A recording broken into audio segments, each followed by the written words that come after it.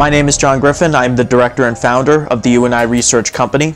UNI Research was formed in 2011. UNI Research is dedicated to the study of unexplained phenomenon.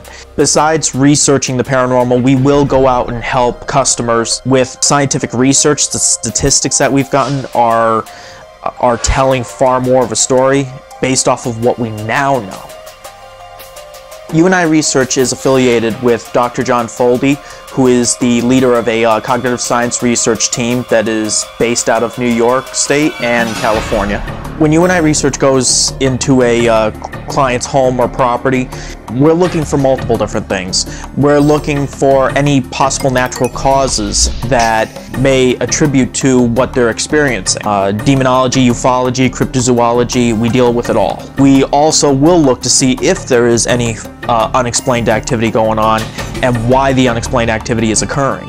Did you get anything back from there? Heard what I heard though, right, John? You heard it over on the other side. Yeah, I did. Ah! We're gonna go downstairs, and these guys are gonna stay up here and talk to you. Is that cool? One keeps coming this way. Two,